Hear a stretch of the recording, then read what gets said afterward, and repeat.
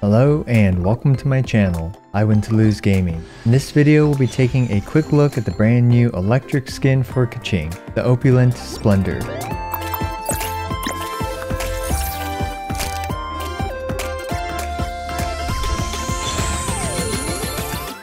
Keqing's new skin, the Opulent Splendor, was just released in patch 2.4 and can be purchased here in the shop, currently at the discounted price of 1350 Genesis Crystals or 1680 Genesis Crystals, presumably after patch 2.4 ends. Now my previous video covering Jean's costume price breakdown and recommended Genesis Crystal purchasing is still completely applicable to Keqing's costume, so I'm just going to play the audio from that with Keqing's costume as b-roll in the background and then after the price breakdown, we'll focus more on individual animations with this costume. Timestamps will be below. So now let's see what I Win to Lose from June 8th had to say about the cheapest way for you to purchase this costume. The following prices are in US dollars, so the price in your region may be different. There are a few options for purchasing it, with one of them being that you can buy 5 Welkin Moons. This is the best value for your buck, as each Welkin Moon gives you 300 Genesis Crystals and 2,400 Primogems over the course of 30 days. Keep in mind that you cannot purchase any more Welkin Moons if you have over 180 days worth of daily Primogems. This is the best overall value for your money and will cost you $24.95 up front. And in terms of the Genesis crystal to cost ratio, it ends up being $22.46 since you'll have 150 leftover Genesis crystals. Now the lowest upfront dollar amount that you can get the costume with is the $15 package plus the $5 package, which will cost you $19.98. This gives you 1,420 Genesis crystals, which is just enough to purchase this costume at the discounted price. You'll have 70 Genesis crystals left over, and thus it ends up costing you $19 worth of Genesis crystals.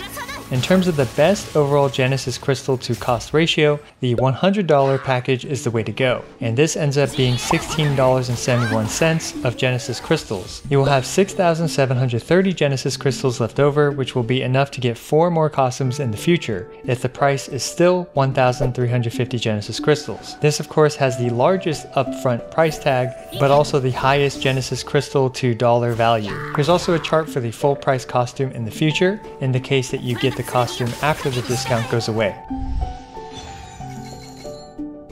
Now let's actually take a look at the costume in game. I will go through as many animations with a couple different camera angles for each of them.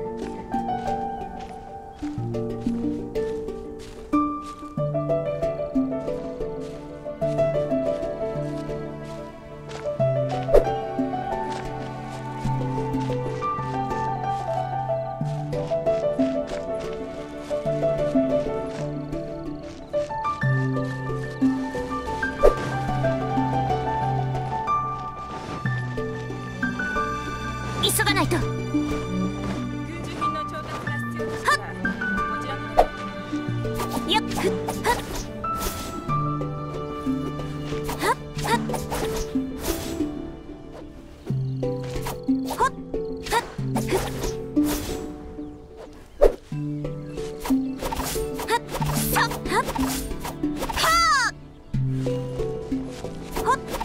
よっ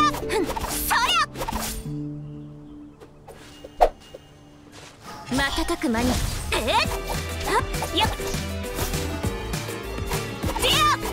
そりゃ。え？っ